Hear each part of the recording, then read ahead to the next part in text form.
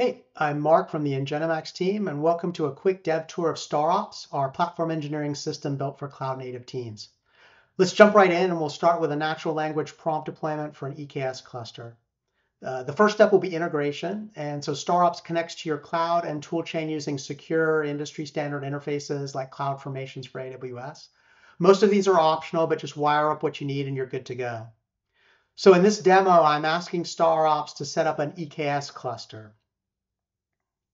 Um, so behind the scenes, it's going to analyze that request and, and then it'll prompt me for any missing config elements.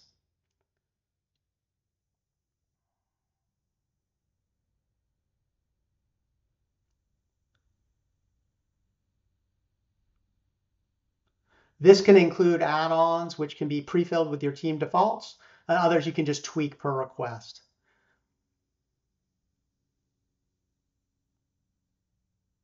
Uh, once it's got everything it needs, StarOps will generate that full deployment plan, and that'll have the config files, Terraform scripts, whatever your stack requires.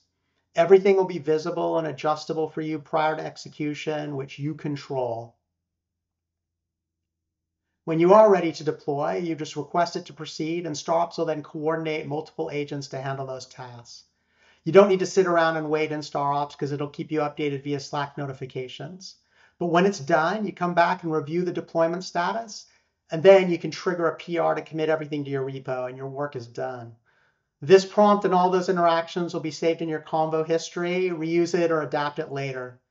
Maybe we should deploy a model to that cluster, but we'll save that for the next video. Thanks for watching and happy shipping.